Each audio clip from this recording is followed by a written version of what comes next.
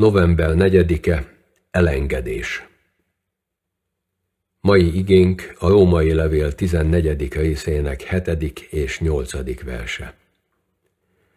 Mert közülünk senki sem él önmagának, és senki sem hal meg önmagának. Tehát akár élünk, akár meghalunk, az úréi vagyunk.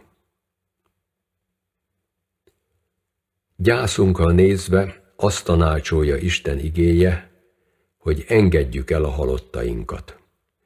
Vegyük komolyan, hogy minden Istené, és amikor ő elhív valakit mellőlünk, nem a miénket veszi el, hanem a magáéval rendelkezik. Szeretteinket is csak egy időre bízza ránk, egy időre ajándékoz meg egymással, hogy addig szeressük és őrizzük egymást. Amikor pedig ez az idő letelik, adjuk vissza őket neki. Ne is találgassuk, hogy vajon hova kerültek. Bízzuk őrá egészen. Istent tisztelő ember nem ragaszkodik halottaihoz, hanem átadja őket teremtőjüknek. Jobb komolyan vette ezt, és ezért tudta súlyos gyászában elmondani, az Úr adta, az Úr vette el, áldott legyen az Úr neve. Kinek nehéz ez az elengedés?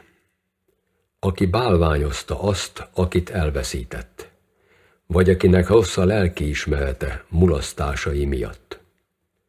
Aki bálványozta, tegye most életében az első helyre Istent.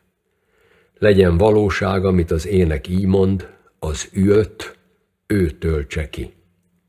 Egyedül ő tud adni igazi vigasztalást nekünk. Akit pedig vádol a szíve, vegye komolyan, hogy sok mulasztást nem lehet már pótolni, de Isten kegyelme ezekre is elég. Vallja meg neki őszinte bűnbánattal, és higgye, hogy bocsánatot kapott, s az Úrral való közösségben békessége lesz. Egy valamit soha nem vesz vissza tőlünk Isten, önmagát. Aki ő benne hisz, az is szegényebb lesz a gyászban, mert elveszített valakit, de nem lesz nincstelen, nem marad üres az élete. Ahogyan a szép ének mondja, a földön, ha elvesztem szerelmem tárgyait, maradjon meg mellettem szerelmed és a hit. Csak azt el mi benned, ó Úristen, remélni megtanít.